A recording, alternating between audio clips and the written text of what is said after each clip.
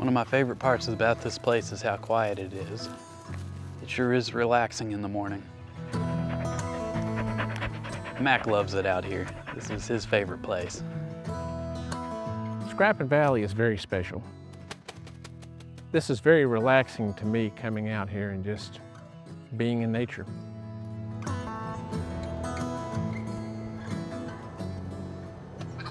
Oh my gosh, there went a turkey.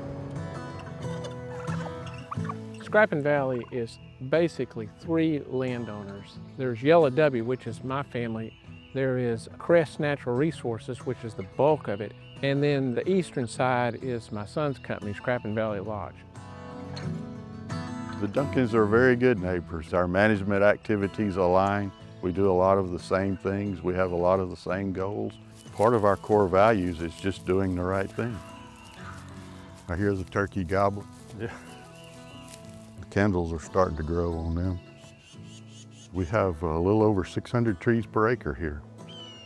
The longleaf was native here, and we have returned about 1,200 acres of longleaf to this site.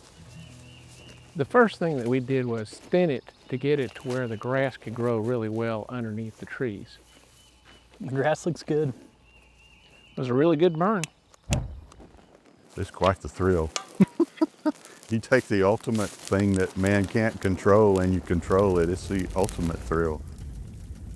A lot of animals like deer and turkey, they need the open spaces to be able to see predators, to have the habitat for nesting and having an open forest floor is what provides that for them. By reintroducing this fire, we take out the non-native plants and reestablish the native plants that have evolved with this fire. They need the fire to survive.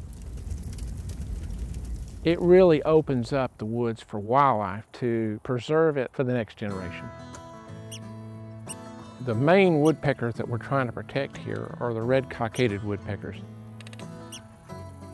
This white band signifies that this is a tree that has a red cockaded woodpecker cavity in it.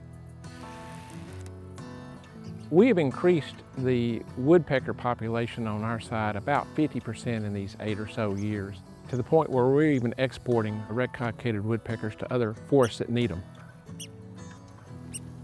And when I drive through here and I see the animals that have flourished because of our management activities, it makes me very proud. And it's a great privilege